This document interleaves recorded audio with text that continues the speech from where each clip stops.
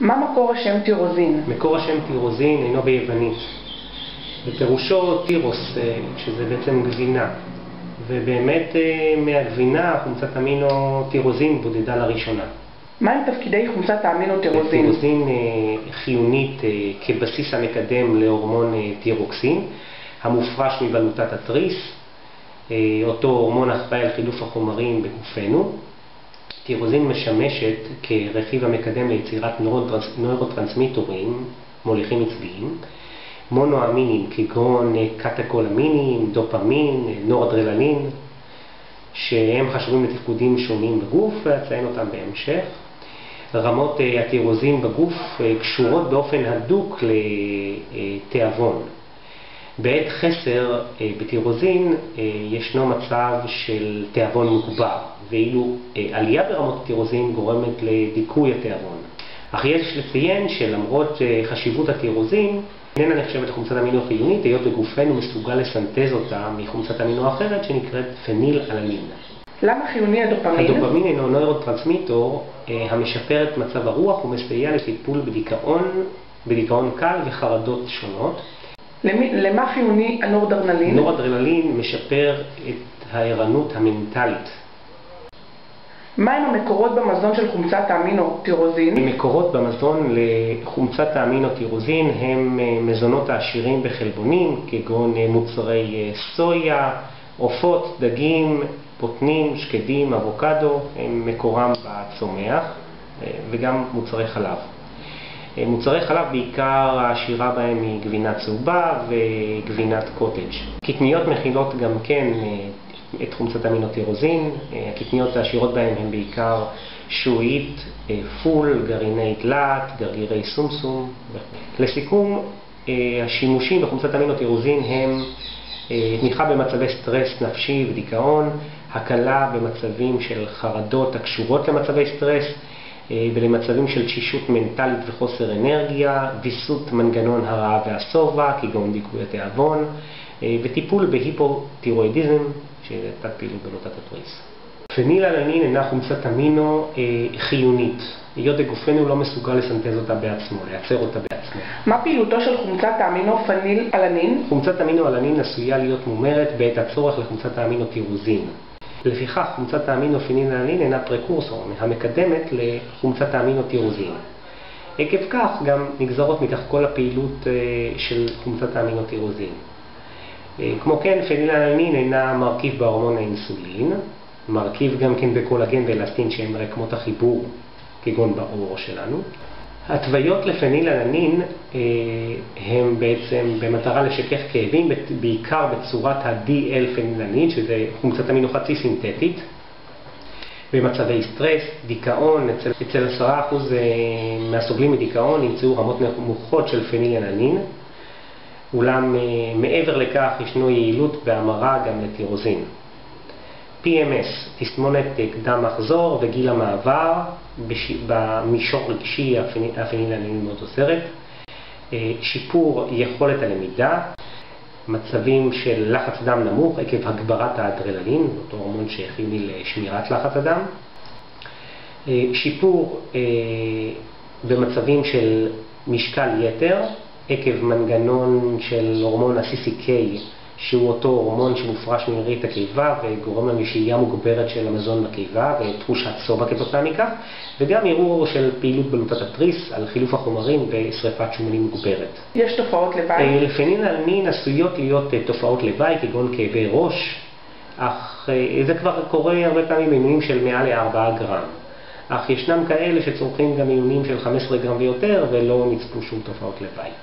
מהן המקורות הדיאטה לחומצת האמינופנלנין? מקורות לפנילנלין אה, במזון, בדיאטה שלנו, אה, היא מצויה בעצם במזונות שהם עתירים בחלבונים כגון אה, בשר בקר, מוצרי עוף, מוצרי חלב, קטניות. כמו כן, הם מצויים, הפנילנלין מצויה גם במזונות עתירים בעמילן כגון תפוחי אדמה, פסטה, תירס. וכו'. אה, ישנם אינטראקציות עם פנילאלנין, אה, כגון שימוש בחומצת אמינו הזאת עם קפאין, אז הוא מפחית את רמות הפנילאלנין בדם, אכילת פחמימות ושומנים גורמת לעלייה ברמות של פנילאלנין ולירידה של רמות של BCA, ברנד chain אמינו אסיד. מהן התוויות נגד פנילאלנין? אם כן, ההתוויות אה, נגד לפנילאלנין, קונטראינדיקציות לפנילאלנין, חולי פנילקטוריה, הם בעצם חסרים, חסר להם בגוף אותו אנזים הממיר בעצם פנילאלנין לטירוזין, כתוצאה מכך יש להם חסר בטירוזין, לא תמיד אמנם, ועקב כך גם אה, ירידה ברמות הורמוני בלוטת התריס ובקוטקולמינים, אה, ולכן אה, במצבים כאלה גם יש עודף ברמות של פנילאלנין בדם. מטופלים בתרופות חוסמות מאו, מונו-אמינו אוקסידז, הינם מרכיב תרופה שניתן כדי לחסום את האנזים, את הנורוטרנסמיטורים המעוררים, כגון קטקולמינים מסוג סרוטונין. המשמעות אה, פעילות זו הינה עלייה ברמה שלהם במוח. כתוצאה מכך נקבל פעילות אנטי-דיכאונית. לכן לא מומלץ לעורר את התגובה הזאת עם תוספת של פנילאלנין. אה, בעלי יתר לחץ דם, כמובן ידוע, זה קונטראינדיקציה ידועה, עקב אה, הגברת ייצור האדרנלין שמגביר את לחץ הדם. הסובלים משחמת הכבד, עדיף להם תפריט דל בספנינלנין ומצד שני גם להוסיף תוספת של BCAA שנמצאות אצלהם לרוב במצבי אה, חסר. מיגרנות, אה, נמצא שאצל סובלים ממיגרנות ישנה רמה גבוהה של פנילנין בדם. אספרטיים אינו אה, אותו ממתיק מלאכותי המיוצר בשילוב של חומצת אמינופנילנין וחומצה אספרטית, המהווה כמקור פוטנציאלי של שני הרכיבים האלה. בעיקר חשוב לדעת ולהדגיש את העובדה הזאת כדי להיזהר בחולי PKU, משום שאצלהם יש את הבעיה המטבולית. רוב חומצות האמינו ניתנות לשימוש בגוף בצורתן הטבעי. ישנן שני חומצות אמינו יוצאות דופן כשמדובר על חומצות אמינו טבעיות והן פנילננין ומתיונין. אה, לאדם יש אנזימים בכבד שיכולים להמיר את שניהם לצורת טבעות מ-D ל-L. מה תפקידי חומצת האמינו קרניטין? תפקיד הקרניטין אה, מסייע, בראש ובראשונה הקרניטין מסייעת לניצול שומן לאנרגיה ולהגביר את, ה, את האנרגיה בכלל בגוף. הקרניטין משמשת כגשר המעביר חומצות שומן ארוכות שרשרת לתוך המיטוכונדריה לשם ניצולם לאנרגיה זמינה בגוף. כלומר, שהיא עוזרת לנו לשרוף שומנים לאנרגיה. שימושים עיקריים בקר, בקרניטין שיפור בכושר האירובי, סיבולת אירובית מוגברת וההספק האירובי, דחיית הופעת אה, תחושות עייפות במהלך פעילות גופנית, טיפול המשלב אה, תזונה ופעילות גופנית בעודף משקל, אז אה, דבר חשוב כי הוא נותן אנרגיה ממקור שומני, האצת התאוששות עקב, אה, בעקבות פעילות גופנית, אז זה משפר את ההתאוששות עקב ניצול האנרגיה ממקור שומני שוב פעם. מה הקשר בין חומצת האמינו קרניטין ואלצהיימר? הקשר בין חומצת אמינו קרניטין לאלצהיימר זה בעיקר כשמדובר על אציטיל אל-קרניטין שמועברת בצורה קלה יותר למוח, הצורה הפעילה יותר בעצם של קרניטין, יעילה יותר לעיכוב התפתחות מצלת, מצבים של האלצהיימר, הודות לעובדה של המבנה שלה. דומה לנוירוטרנסמיטור הנפוץ במוח, אציטילכולין. כמו כן ידוע כי רמות נמוכות של אציטילכולין קשורות להתפתחות מחלת האלצהיימר. מהם מקורות הקרניטין בתזונה שלנו? מקורות לקרניטין, ישנם שני מקורות, מקורות אנדוגנים, כלומר ייצור עצמי בגוף שלנו, ומקורות אקסטוגנים חיצוניים, כלומר מהמזון. כ-75% מכמות הקרניטין היומית מגיעה ישירות מהמזון, וכ-25% גופנו מייצר.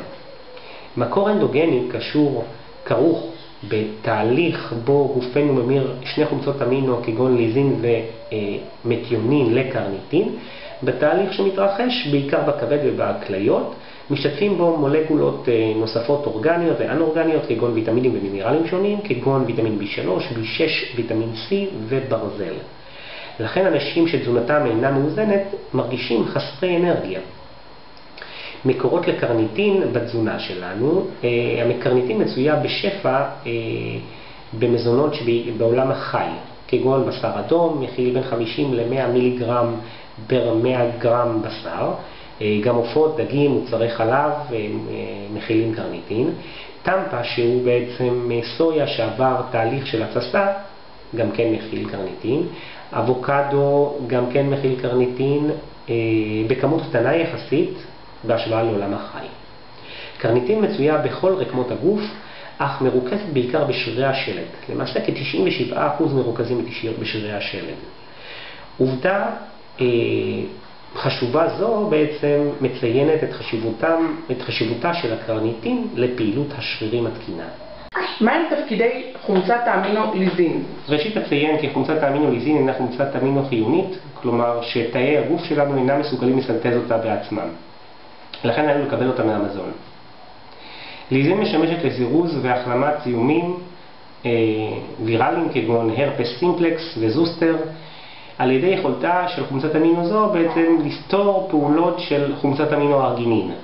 סיבוכים בריאותיים נוספים כתוצאה מחוסר ליזין אה, בתזונה במזון שלנו הם אה, אבנים בכליות, עייפות, חוסר תיאבון. ליזין מסייעת אה, לספיגה יעילה יותר של הסידן ונחוצה לייצור קולגן. לכן גם מסייעת לריפוי מהיר יותר של פציעות, של פצעים. מהם המינונים המקובלים של חומצת האמינו-ליזין? מינונים מקובלים לחומצת האמינו-ליזין, אז מינון אופטימלי מהמזון יכול להגיע ל-15 גרם ליום. מינון תחזוקתי הוא בסביבות ה-500 עד 1,000 מיליגרם כקו תחתון. מינון טיפולי בדרך כלל בטווח של 3 גרם ליום. ספיגה יעילה של ליזין דורשת כמות מספקת של ויטמין B6. ארגינין הינה חומצת אמינו אנטגוניסטית לליזין. אה, גם היא מתחרה על הספיגה וגם פועלת כפרו-הרפס, כמעודדת הרפס. כנראה שקיים קשר אה, ישיר בין אה, חוסר בליזין בדם לבין עיבוד מוגבר של סידן בשתן.